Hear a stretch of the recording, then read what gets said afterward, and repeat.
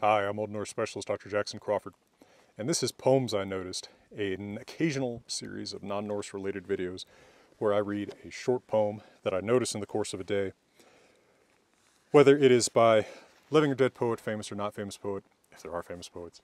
Uh, it's just something I noticed that I thought was worth sharing with you. And this is from fellow Hackett Publishing translator, Len Krisak. It's called Percentages. He was so certain, says the book, that when the day was done, the giant wouldn't be alive. Why was it then that what he took to fight was not a single stone, but rather five?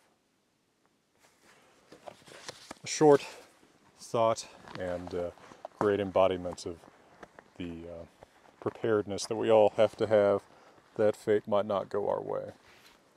Well, from beautiful Colorado, let me wish you all the best.